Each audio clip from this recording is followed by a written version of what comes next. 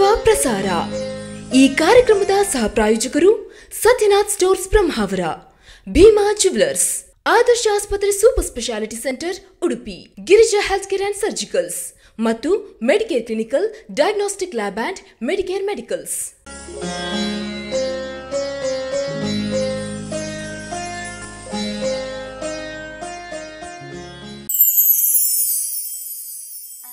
ನಾರಾಯಣಂ ನಮಸ್ಕೃತ್ಯ ನರಂ ಚೈವ ನರೋತ್ತಮಂ ದೇವಿಂ ಸರಸ್ವತಿಂ ವ್ಯಾಸಂ ತಥೋ ಜಯಮುದ್ರೆಯೇತ್ ಪಾಂಡವರು ದ್ರೌಪದಿಯ ಕುರಿತು ಒಂದು ನಿಯಮವನ್ನು ಮಾಡಿಕೊಂಡ ನಂತರ, ಅಂದರೆ ಮಹಾತ್ಮರಾದಂತಹ ನಾರದರ ನಿರ್ದೇಶನದ ಮೇರೆಗೆ, ಅಂದರೆ ಜನರಲ್ಲಿ ಸಾಮಾನ್ಯವಾಗಿ ಹೆಣ್ಣು, ಹೊನ್ನು, ಮಣ್ಣು, ಈ ಮೂರು ವಿಚಾರದಲ್ಲಿ ಆ ಮನಸ್ಸು ಅಂತ ಹೇಳುವಂಥದ್ದು ಚಂಚಲತೆಗೆ ಬಂದು ಯಾವುದೇ ರೀತಿಯಾದಂತಹ ಒಗ್ಗಟ್ಟಿದ್ರೂ ಕೂಡ, ಸಹಮತ ಇದ್ದರೂ ಕೂಡ, ಆ ಮೂರು ಕಾರಣದಿಂದಾಗಿ ಮತ್ತೆ ತೊಂದರೆಗೆ ಆಗುತ್ತದೆ ಎಂಬಂತಹ ಕಾರಣದಿಂದ ಮಹಾತ್ಮರಾದಂಥ ನಾರದರು ಧರ್ಮರಾಜನಿಗೆ ನೀವು ಐವರನ್ನು, ಐವರು ಒಬ್ಬಾಕೆಯನ್ನು ವಿವಾಹರಾಗಿದ್ದೀರಿ. ಆದ್ದರಿಂದ ಆ ಕಾರಣದಿಂದ ನಿಮ್ಮಲ್ಲಿ ಯಾವುದೇ ರೀತಿಯಾದಂಥ ವೈಮನಸ್ಸು ಬಾರದೇ ಇರುವುದಕ್ಕಾಗಿ ನೀವೊಂದು ನಿಯಮವನ್ನು ಮಾಡಿಕೊಂಡ್ರೆ ಅದರಿಂದ ಅನುಕೂಲವಾದೀತು ಎಂಬ ಮಾತನ್ನು ಹೇಳಿದಾಗ ನಾರದರ ಮಾತನ್ನು ಅನುಸರಿಸಿ ಅಲ್ಲಿ ಧರ್ಮರಾಜ ಸತಿ ಒಂದು ವರ್ಷದವರೆಗೆ ಒಬ್ಬರ ಜೊತೆಯಲ್ಲಿ ಇರಲಿ. ಮರು ವರ್ಷ ಮತ್ತೊಬ್ಬನ ಜೊತೆಯಲ್ಲಿ ಇರಲಿ. ಹೀಗೆ ಐದು ವರ್ಷದಲ್ಲಿ ಐವರಿಗೂ ಸತಿಯ ಸಹವಾಸ ಆಗ ಸಮಾನವಾಗಿ ಇರುತ್ತದೆ ಎಂಬಂತಹ ಕಾರಣದಿಂದ ಆ ನಿಯಮವನ್ನು ಮಾಡಿಕೊಂಡಿರ್ತಾರೆ. ಹಾಗಾದರೆ ಆ ನಿಯಮವನ್ನು ಮುರಿದರೆ ಅದಕ್ಕೇನು ಪರಿಹಾರ, ಅದಕ್ಕೇನು ಶಿಕ್ಷೆ?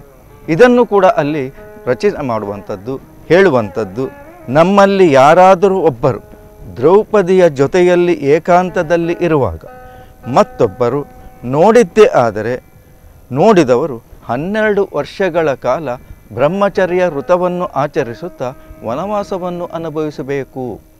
ಇದು ಅವರೇ ಮಾಡಿಕೊಂಡಂಥ ನಿಯಮ ಮತ್ತು ಆ ಕಾನೂನು ಅಂತ ಹೇಳಿದರೂ ತಪ್ಪಾಗಲಿಕ್ಕಿಲ್ಲ.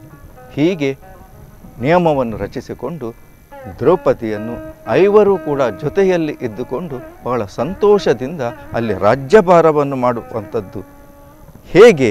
ದೋಷರಹಿತರಾಗಿ, ನಿತ್ಯ ಸಂತುಷ್ಟರಾಗಿ, ದಿನ ದಿನಕ್ಕೂ ಅಭಿವೃದ್ಧಿಯನ್ನು ಪಾಂಡವರು ಹೊಂದುತ್ತಿದ್ದರು ಯಾಕಂದರೆ ಧೃತರಾಷ್ಟ್ರ ಭೂಪತಿ ಅವರಿಗೆ ಅರ್ಧ ರಾಜ್ಯವನ್ನು ವಿಭಾಗ ಮಾಡಿ, ಕಾಂಡವ ಪ್ರಸ್ಥವನ್ನು ಕೊಟ್ಟ ಸಂದರ್ಭದಲ್ಲಿ ಅದನ್ನು ಅಭಿವೃದ್ಧಿಪಡಿಸಿಕೊಂಡು ಅದು ಇಂದ್ರನ ನಂದನವನದಂತೆ ಕಂಗೊಳಿಸುತ್ತಿದ್ದಂಥ ಕಾರಣದಿಂದ ಅದನ್ನು ಇಂದ್ರಪ್ರಸ್ಥ ಅಂತೇಳಿ ಕೃಷ್ಣನ ಸೂಚನೆ ಮೇರೆಗೆ ಅದಕ್ಕೆ ಹೆಸರನ್ನಿಟ್ಟು ಬಹಳ ಸಂತೋಷದಿಂದ ಪ್ರಜಾ ಪರಿಪಾಲನೆಯನ್ನು ಮಾಡುತ್ತಾ ಬಹಳ ಸಂತೋಷದಿಂದ ದಿನವನ್ನು ಕಳಿತಿದ್ರು, ರಾಜ್ಯ ಭಾರವನ್ನು ಮಾಡ್ತಿದ್ರು.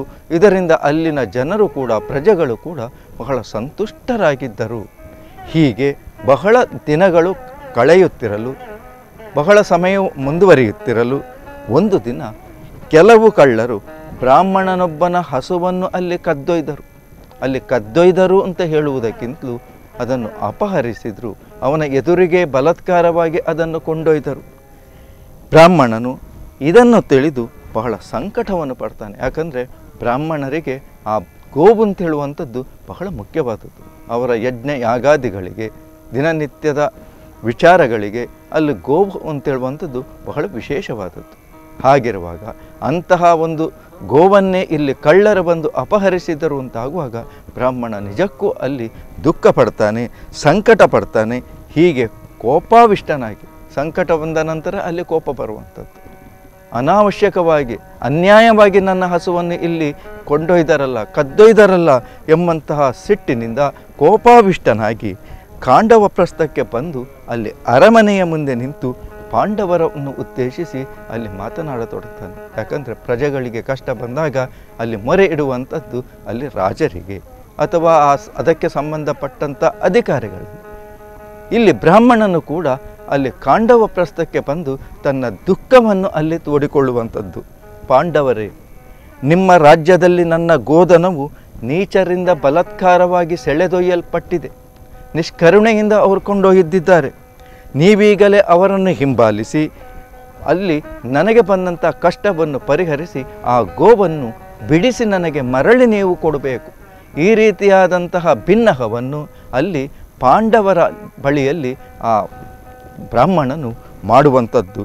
ಹೇಗೆ ಅದಕ್ಕೆ ಉಪಮೆಯನ್ನು ಕೊಡ್ತಾನಂದರೆ, ಶಾಂತನಾದಂತಹ ಬ್ರಾಹ್ಮಣನೊಬ್ಬನು ಯಾಗಕ್ಕಾಗಿ ಉಪಯೋಗಿಸುತ್ತಿದ್ದಂತಹ ಹವ್ಯಸನ್ನು ಒಂದು ಕಾಗೆಯು ಬಂದು ಸೆಳೆದುಕೊಂಡು ಹೋದ ಹಾಗೆ ನನ್ನ ಈ ಕಟ್ಟಲ್ಪಟ್ಟಂತಹ ಈ ಹಸುವನ್ನು ಇವರು ಎಳೆದುಕೊಂಡು ಹೋದರು.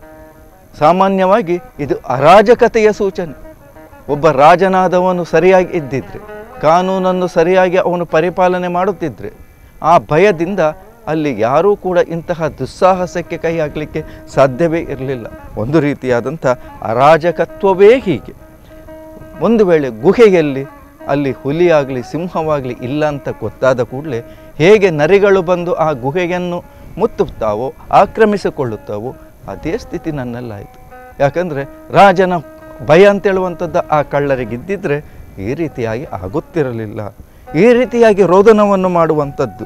ಹಾಗಾಗಿ ಅರಕ್ಷಿತಾಂ ರಾಜಾನಂ ಬಲಿಷಡ್ಭಾಗಹಾರಿಣಂ ತಮಾಹು ಸರ್ವಲೋಕಸ್ಯ ಸಮಗ್ರಂ ಪಾಪಚಾರಿಣಂ. ಬ್ರಾಹ್ಮಣ ಅಲ್ಲಿ ಹೇಳ್ತಾನೆ ಪ್ರಜೆಗಳ ಆದಾಯದಲ್ಲಿ ಆರನೆಯ ಒಂದಂಶವನ್ನು ಅಲ್ಲಿ ರಾಜ ಪಡ್ಕೊಂಡ ಮೇಲೆ. ನೋಡಿ ನಾವು ತೆರಿಗೆಯನ್ನು ಕೊಡುವಂಥದ್ದು. ಯಾಕೆ ನಾವು ತೆರಿಗೆಯನ್ನು ಸರ್ಕಾರಕ್ಕಾಗಲಿ, ರಾಜನಿಗಾಗಲಿ ಸಲ್ಲಿಸ್ತೇವೆ? ಅಂದರೆ ಪ್ರಜೆಗಳು ಮಾಡಿದಂತಹ ಆ ಸಂಪಾದನೆಯಲ್ಲಿ ಆರನೇ ಒಂದು ಭಾಗದಷ್ಟು ಅಲ್ಲಿ ಸರ್ಕಾರಕ್ಕೂ ಅಥವಾ ರಾಜನಿಗೂ ಪ್ರಜೆಗಳು ಕೊಡುವಂಥದ್ದು. ಅದು ಕಾನೂನು ಅಂತ ಹೇಳುವಂಥದ್ದು ಮಾಡ್ತಾರೆ. ಅದನ್ನು ನಿಯಮ ಅಂತೇಳಿ ಮಾಡಿ ರಾಜರು ಅದನ್ನು ವಸೂಲು ಮಾಡ್ತಾರೆ. ಹಾಗಿರುವಾಗ ನಮ್ಮ ಆದಾಯದಲ್ಲಿ ಆರನೇ ಒಂದು ಅಂಶವನ್ನು ರಾಜನು ಪಡೆದುಕೊಂಡ ಮೇಲೆ ರಾಜನ ಕರ್ತವ್ಯ ಅಂತ ಹೇಳಿ ಇರ್ತದೆ. ಸಾಮಾನ್ಯವಾಗಿ ಈಗ ಸರ್ಕಾರ ಅಂತ ಹೇಳುವಂಥದ್ದು. ಹಾಗಾದರೆ ಸರ್ಕಾರದ ಕರ್ತವ್ಯವೇನು? ತೆರಿಗೆಯನ್ನು ಸಂಗ್ರಹ ಮಾಡಿದ ಮೇಲೆ ಒಬ್ಬ ಮನುಷ್ಯನಿಗೆ ಅಥವಾ ಒಂದು ಕುಟುಂಬದವರಿಗೆ ಮಾಡಲಿಕ್ಕೆ ಸಾಧ್ಯವೇ ಆಗದಂತಹ ಮುಖ್ಯವಾಗಿ ನೀರಿನ ವ್ಯವಸ್ಥೆ, ಮಾರ್ಗದ ವ್ಯವಸ್ಥೆ, ವಿದ್ಯುತ್ತಿನ ವ್ಯವಸ್ಥೆ ಇವೆಲ್ಲಕ್ಕಿಂತಲೂ ಮುಖ್ಯವಾಗಿ ಯಾರಿಂದಲಾದರೂ ಅವನಿಗೆ ಭಯ ಅಂತ ಉಂಟಾದರೆ, ಯಾರಿಂದಲಾದರೂ ಅವನಿಗೆ ಬೆದರಿಕೆ ಉಂಟಾದಾಗ ಅಂತಹವನಿಗೆ ರಕ್ಷಣೆಯನ್ನು ಕೊಡುವಂತಹ ಜವಾಬ್ದಾರಿ ಅಲ್ಲಿ ರಾಜನದ್ದಾಗಿರುತ್ತದೆ ಅಥವಾ ಈಗಿನ ಸರಕಾರದ್ದಾಗಿರುತ್ತದೆ. ಅದೇನ ಇಲ್ಲಿ ಬ್ರಾಹ್ಮಣ ಇಲ್ಲಿ ಹೇಳುವಂಥದ್ದು, ನೀವು ತೆರಿಗೆಯನ್ನು ತೆಗೆದುಕೊಂಡು ಹೋದ ಮೇಲೆ ಇಲ್ಲಿ ಪ್ರಜೆಗಳನ್ನು ಆಪತ್ಕಾಲದಲ್ಲಿ ಒಂದು ವೇಳೆ ರಾಜನು ರಕ್ಷಿಸದೇ ಇದ್ದಿದ್ದರೆ, ಅಲ್ಲಿ ರಾಜನೀತಿ ತಜ್ಞರು ಹೇಳುತ್ತಾರೆ ಅಂತಹ ಪಾಪಿಷ್ಟನಾದಂತಹ ರಾಜ ಮತ್ತೊಬ್ಬನಿರಲಿಕ್ಕೆ ಸಾಧ್ಯವಿಲ್ಲ. ಅವನನ್ನು ಪಾಪಿಂತಲೇ ಕರಿಬೇಕು. ಯಾಕಂದರೆ ಪ್ರಜೆಗಳಿಗೆ ರಕ್ಷಣೆಯನ್ನು ಕೊಡುವಂಥದ್ದು ರಾಜನ ಮುಖ್ಯ ಕರ್ತವ್ಯವಾಗಿರುತ್ತದೆ. ನನ್ನ ಗೋದನ ಅಪಹಾರದಿಂದಾಗಿ ನಾನಿಂದು ಬಹಳ ದುಃಖಿತನಾಗಿದ್ದೇನೆ, ಸಂಕಟಕ್ಕೆ ಒಳಪಟ್ಟಿದ್ದೇನೆ.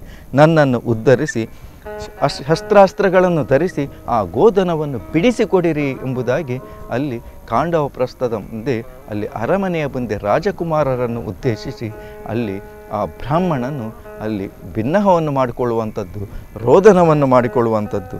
ಬ್ರಾಹ್ಮಣನ ರೋದನವನ್ನು, ಮಾತುಗಳನ್ನು ಅರಮನೆಯೊಳಗಿದ್ದಂತಹ ಶ್ರೇಷ್ಠನಾದಂತಹ ಧನಂಜಯನು ಅಲ್ಲಿ ಕೇಳಿಸಿಕೊಳ್ತಾನೆ. ಕೂಡಲೇ ಅದಕ್ಕೆ ಉತ್ತರವನ್ನು ಕೊಡ್ತಾನೆ ಮಹಾಬೈ ಹೆದರಬೇಡ. ಈಗಲೇ ಬಂದು ನಿನ್ನ ಗೋಧನವನ್ನು ರಕ್ಷಿಸಿ. ಅದನ್ನು ಕಳ್ಳರಿಂದ ಬಿಡಿಸಿ ನಾನು ನಿನಗೆ ಕೊಡುತ್ತೇನೆ ಅಂತ ಒಳಗಿನಿಂದಲೇ ಅಲ್ಲಿ ಬ್ರಾಹ್ಮಣನಿಗೆ ಉತ್ತರವನ್ನು ಕೊಡ್ತಾನೆ. ಹಾಗೆ ಮಹಾನುಭಾವನಾದಂಥ ಅರ್ಜುನನು ಬ್ರಾಹ್ಮಣನ ವಿನಂತಿಯ ಮೇರೆಗೆ, ಅಲ್ಲಿ ಆತನ ಕೂಗಿನ ಮೇರೆಗೆ ಕಷ್ಟವನ್ನು ಪರಿಹರಿಸಲು ಧನುಸ್ಸನ್ನು ತೆಗೆದುಕೊಳ್ಳುವುದಕ್ಕಾಗಿ ಎರಡು ಹೆಜ್ಜೆಯನ್ನು ಮುಂದಿಟ್ಟನು. ಯಾಕಂದರೆ ಆ ಕಳ್ಳರನ್ನು ಬೆನ್ನಟ್ಟಬೇಕಾದರೆ ಶ್ರೇಷ್ಠವಾದಂಥ ರಥವು ಬೇಕು. ರಥವನ್ನು ಏರಿದ ನಂತರ ಬಿಲ್ ಬಾಣಗಳನ್ನು ಆತ ಧರಿಸಿಕೊಂಡಿರಬೇಕು. ಹಾಗಾಗಿ ಈ ರೀತಿಯಾಗಿ ಸುಸಜ್ಜಿತವಾಗಿ ಬೆನ್ನಟ್ಟಿ ಹೋಗಿ ಅವುಗಳನ್ನು ಬಿಡಿಸಿಕೊಳ್ಬೇಕು. ಈಗಲೇ ಆ ರಥವನ್ನು ಏರಬೇಕು ಬಿಲ್ ಬಾಣಗಳನ್ನು ಹಿಡಿದುಕೊಂಡು ಬರಬೇಕು ಅಂತ ಆತ ಎರಡು ಹೆಜ್ಜೆ ಮುಂದಿಟ್ಟಾಗ ಆತನಿಗೆ ಒಂದು ಕಳವಳ ಉಂಟಾಯಿತು, ಒಂದು ಸಮಸ್ಯೆ ಉಂಟಾಯಿತು. ಏನು ಆ ಸಮಸ್ಯೆ ಅಂದರೆ ಪಾಂಡವರು ತಮ್ಮ ಶಸ್ತ್ರಾಸ್ತ್ರಗಳನ್ನು ಇಟ್ಟಂತಹ ಸ್ಥಳವು ಅದು ಅಂತಃಪುರವಾಗಿದ್ದಿತು ಯಾಕಂದರೆ ಅಂತಪುರದಲ್ಲಿ ಬಹಳ ಸುರಕ್ಷಿತವಾಗಿರ್ತದೆ. ತಮ್ಮ ಐವರಲ್ಲಿ ಯಾರಾದರೂ ಒಬ್ಬರು ಅಲ್ಲಿ ಇರ್ತಾರೆ.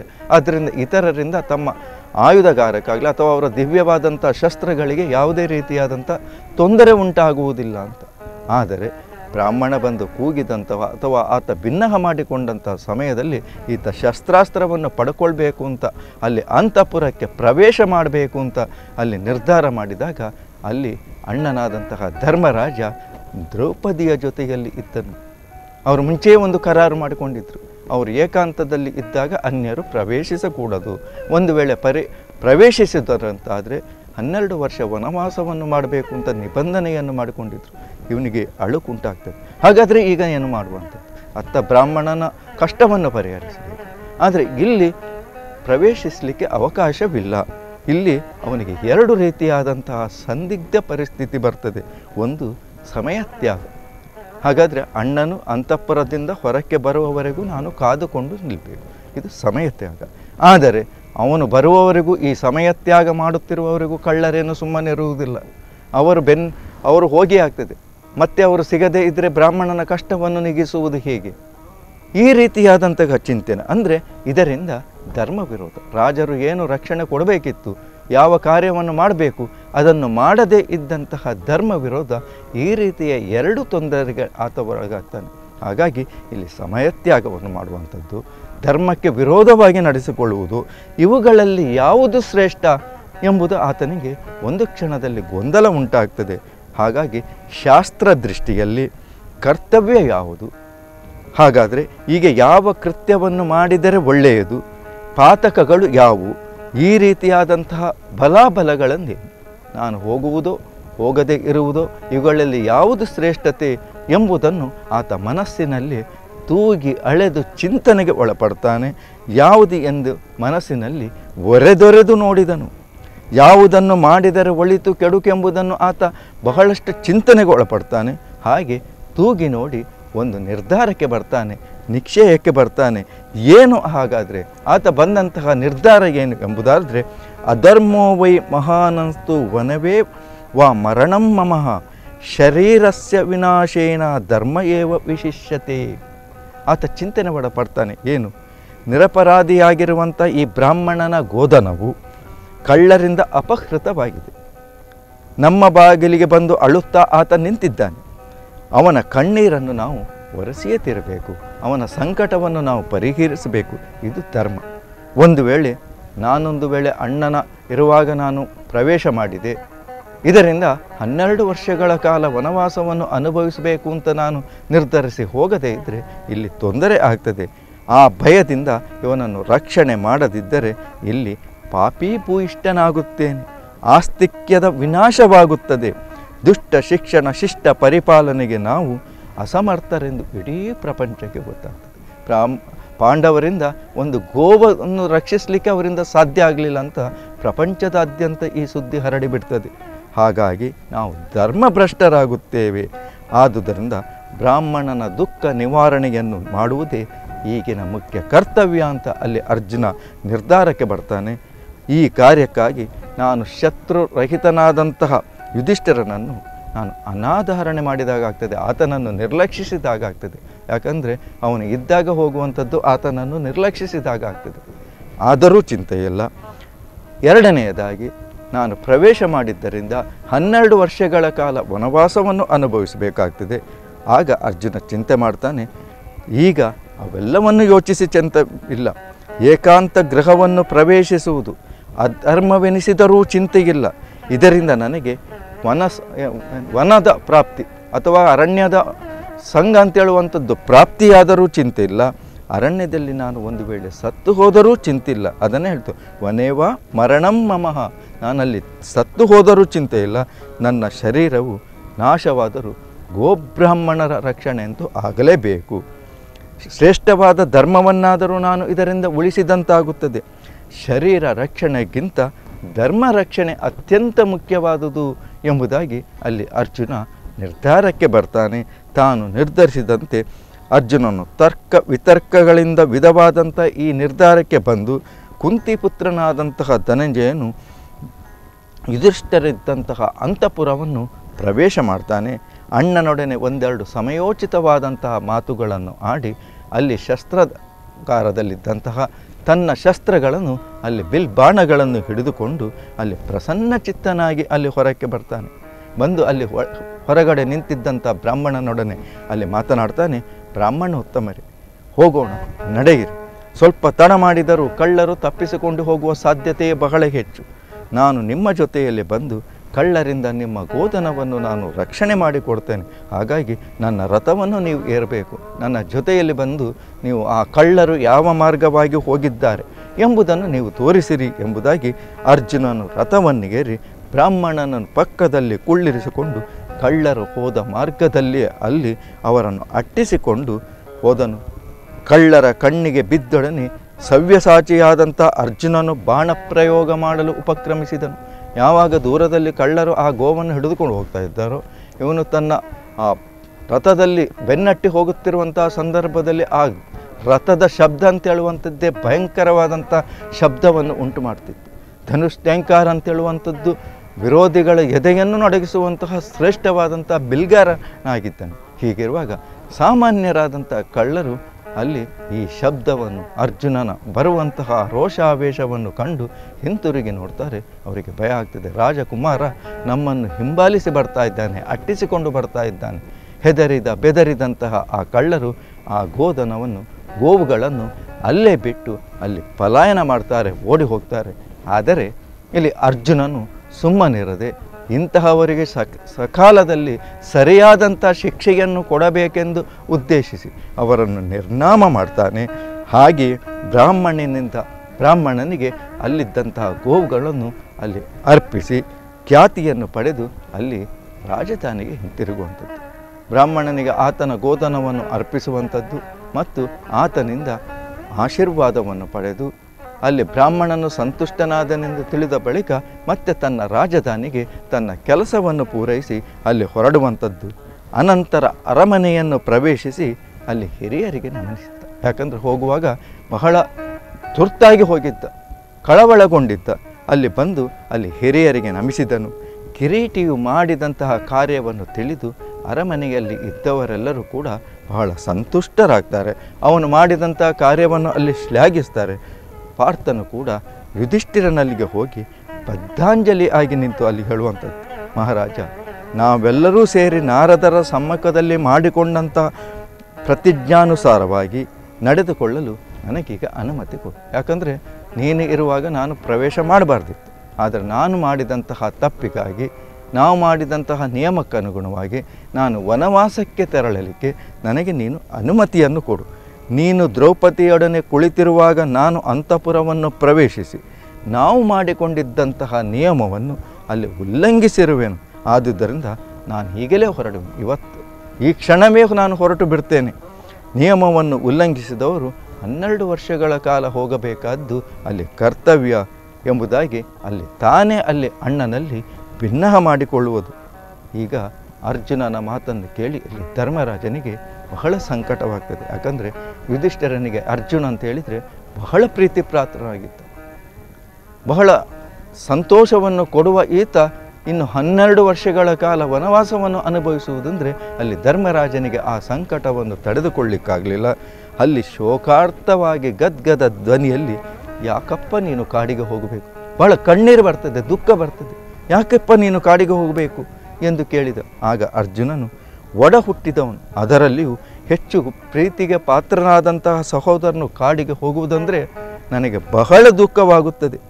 ಅರ್ಜುನನು ಕಾಡಿಗೆ ಹೋಗಲೇಬೇಕಾಗಿರುವ ಕಾರಣವು ಯುಧಿಷ್ಠರನಿಗೆ ಮನವರಿಕೆಯಾಯಿತು. ಯಾಕೆ ಹೋಗಬೇಕು? ವಿಚಾರ ಏನೆಂದು ಅವನಿಗೂ ಗೊತ್ತಿತ್ತು. ಮನವರಿಕೆಯಾಯಿತು. ಹಾಗೆ ಮನಸ್ಸಿಗೆ ಸಮಾಧಾನವನ್ನು ತಂದುಕೊಂಡು ಅಲ್ಲಿ ಅರ್ಜುನನ ಜೊತೆಯಲ್ಲಿ ಹೇಳ್ತಾನೆ ಧನಂಜಯ ಧಾರ್ಮಿಕ ವಿಚಾರಗಳಲ್ಲಿ ನನ್ನ ಮಾತನ್ನು ಪ್ರಮಾಣವಾಗಿ ಇಟ್ಟುಕೊಳ್ಳಬಹುದೆಂದು ದೃಢ ವಿಶ್ವಾಸ ನಿನಗೆ ಇರುವುದಾದರೆ ನಾನು ಹೇಳುವ ಮಾತನ್ನು ಕೇಳು. ಯಾಕಂದರೆ ಧರ್ಮರಾಜ ಅಂತ ಹೇಳುವವ ಅದು ಧರ್ಮದ ಮೂರ್ತಿ. ಅವನು ಆಡಿದಂಥ ಪ್ರತಿಯೊಂದು ಮಾತು ಕೂಡ, ಅವನ ನಡತೆ, ನಡೆ, ನುಡಿ ಎಲ್ಲವೂ ಕೂಡ ಅದು ಧರ್ಮಯುತವಾಗಿಯೇ ಇರುತ್ತದೆ.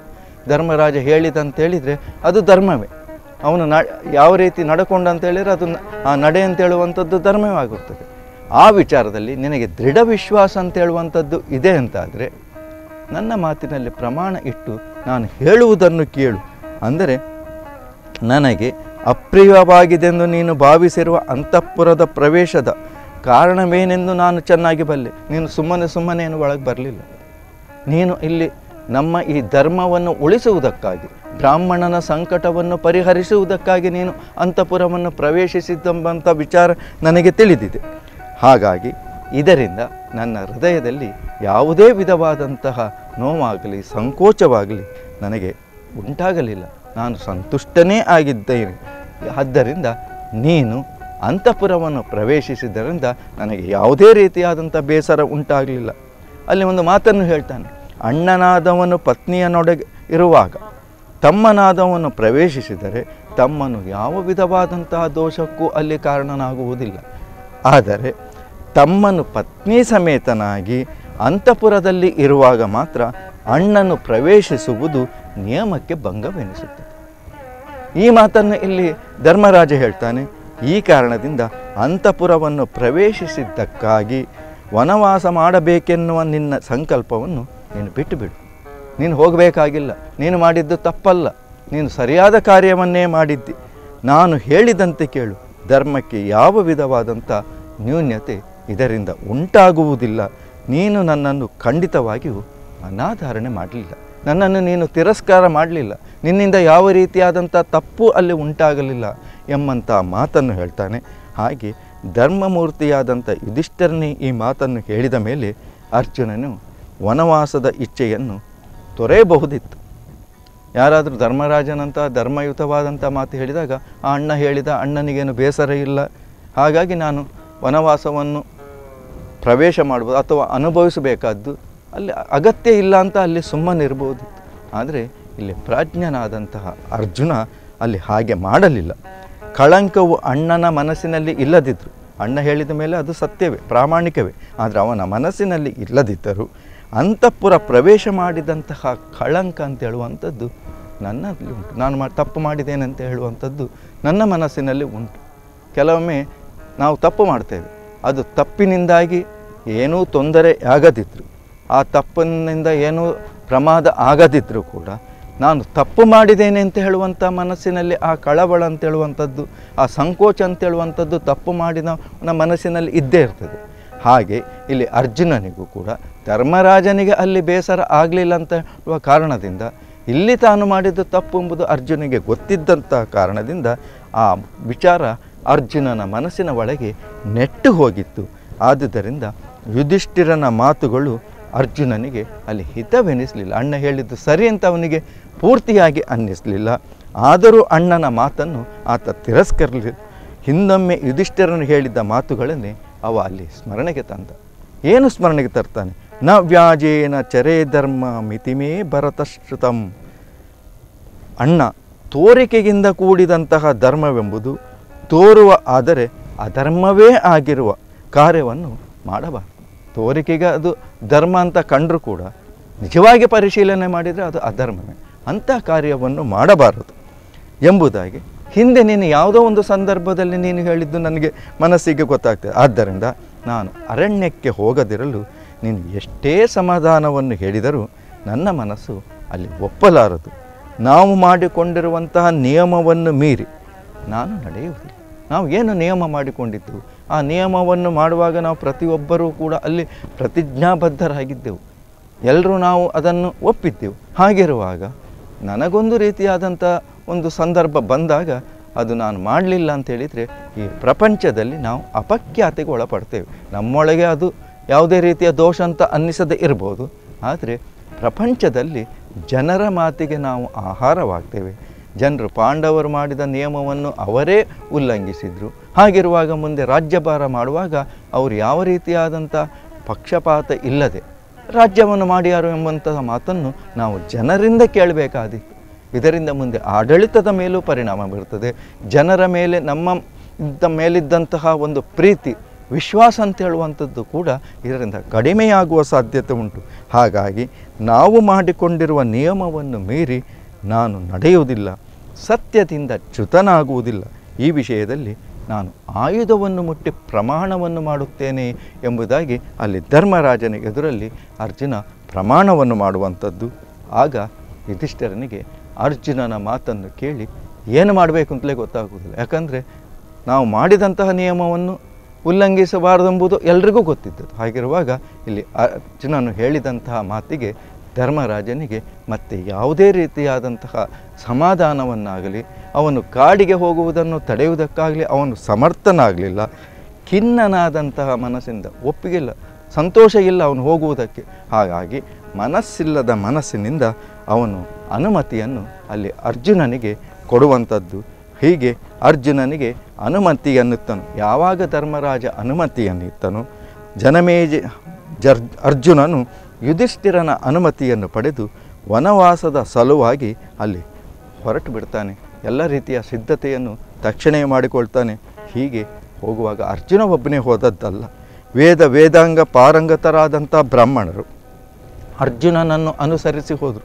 ಯಾಕಂದರೆ ಅವನಿಗೆ ಕಾಡಿನಲ್ಲಿ ಯಾವುದೇ ರೀತಿಯಾದ ತೊಂದರೆ ಆಗಬಾರ್ದು. ಧರ್ಮಕ್ಕೆ ಯಾವುದೇ ರೀತಿಯಾದಂಥ ಸಮಸ್ಯೆ ಬಂದಾಗ ಸಕಾಲದಲ್ಲಿ ಧರ್ಮ ಯಾವುದೆಂಬುದನ್ನು ಹೇಳಬೇಕು. ಅದಕ್ಕಾಗಿ ಹೊರಟರು. ಅವರ ಜೊತೆಯಲ್ಲಿ ಆತ್ಮ ದರ್ಶನಾಕಾಂಕ್ಷಿಗಳಾದಂತಹ ಮಹರ್ಷಿಗಳು, ಗಾಯಕರು, ಭಿಕ್ಷುಗಳು, ಭಗವತ್ ಪಾದರು ಹಾಗೂ ಸೂತರು, ಪೌರಾಣಿಕರು ಮತ್ತು ನೀತಿಯ ಕಥೆಯನ್ನು ಹೇಳುವವರು ಶ್ರವಣಕರು, ವಾನಪ್ರಸ್ಥರು, ಸುಮಧುರವಾದಂಥ ಧ್ವನಿಯಲ್ಲಿ ದೇವತೆಗಳ ಆಖ್ಯಾನವನ್ನು ಹೇಳುವಂಥ ದ್ವಿಜೋತ್ತಮರು ಅಲ್ಲಿ ಅರ್ಜುನನ ಜೊತೆಯಲ್ಲಿ ಹೊರಟರು. ಹೀಗೆ ಅವರೆಲ್ಲರಿಂದಲೂ, ಮಧುರ ಭಾಷೆಗಳಿಂದಲೂ ಇನ್ನು ಅನೇಕ ಸಾಧು ಸತ್ಪುರುಷರಿಂದ ಪರಿವೃತನಾದಂಥ ಅರ್ಜುನನು ದೇವತೆಗಳೊಡಗೂಡಿ ಇಂದ್ರನಂತೆ ಪರಿಶೋಭಿಸುತ್ತಾ ಅಲ್ಲಿ ಯಾತ್ರೆಗಾಗಿ ಹೊರಡ್ತಾನೆ. ಅಲ್ಲಿ ನಯನ ಮನೋಹರವಾದಂತಹ ಕಾಡುಗಳಲ್ಲಿ ಪ್ರವೇಶ ಮಾಡ್ತಾನೆ. ಒಂದು ಸುಂದರವಾದಂತಹ ಒಂದು ಪರ್ಣಕುಟೀರವನ್ನು, ಒಂದು ಆಶ್ರಮವನ್ನು ಕಟ್ಟಿಕೊಂಡು ಅರ್ಜುನನು ಅಲ್ಲಿ ನೆಲೆಸ್ತಾನೆ. ಹೀಗೆ ಅರ್ಜುನನು ಅಲ್ಲಿ ಕಾಡಿಗೆ, ಅರ್ಥಾತ್ ವನವಾಸವನ್ನು ಅನುಭವಿಸುವ ಪ್ರಸಂಗ ಈ ಕಾರಣದಿಂದ ಬಂದು ಒದಗ್ತದೆ. ವೀಕ್ಷಕರೇ, ಹಾಗಾಗಿ ನಾವು ಯಾವುದೇ ರೀತಿಯಾದಂಥ ಈ ರೀತಿಯಾದಂತಹ ತಪ್ಪುಗಳು ಮಾಡಿದಾಗ ನಾವು ಮನಸ್ಸಾಕ್ಷಿಗೆ ಅನುಗುಣವಾಗಿ ಅಲ್ಲಿ ವರ್ತಿಸಬೇಕು ಅಂತ ಹೇಳಿದು ಈ ಕಥೆಯಿಂದ ನಮಗೆ ವೇದ್ಯ ಆಗ್ತದೆ. ಆದ್ದರಿಂದ ಇದನ್ನು ನಾವು ಕೂಡ ಜೀವನದಲ್ಲಿ ಪಾಲಿಸೋಣ ಅಂತ ಹೇಳುತ್ತಾ ಈ ಕಥೆಯನ್ನು ಈಶ್ವರ ಅರ್ಪಣೆಗೊಳಿಸ್ತಾ ಇದ್ದೇನೆ. ಓಂ ತಸ್ಸ